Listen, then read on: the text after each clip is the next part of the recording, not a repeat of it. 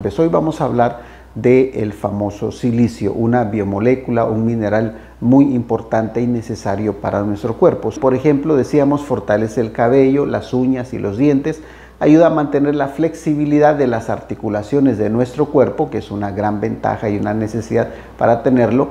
Eh, mantiene la piel libre de arrugas y la flacidez prematura gracias a que propicia la formación de colágeno y elastina, muy necesarios actualmente. O sea, en general toda la vida es necesario esto, pero sobre todo cuando pasamos de los 40 años.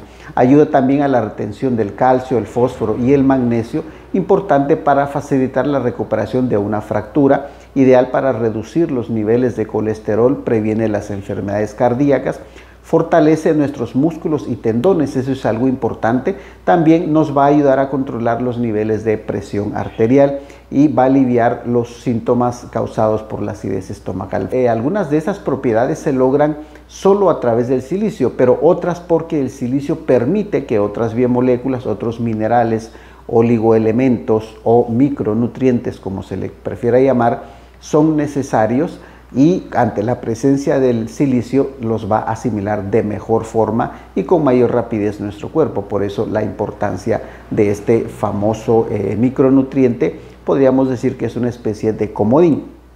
Ahora, alimentos que contienen silicio orgánico, como por ejemplo, vamos a hablar del aguacate, la cebolla, la remolacha o betabel, el plátano, el arroz, las espinacas, las fresas, el perejil, el cilantro, los frutos secos como el caso del maní, las almendras, el pepino, el tomate, el mango y la piña. Esos solo son algunos de los que nosotros con seguridad vamos a encontrar este maravilloso micronutriente conocido como silicio.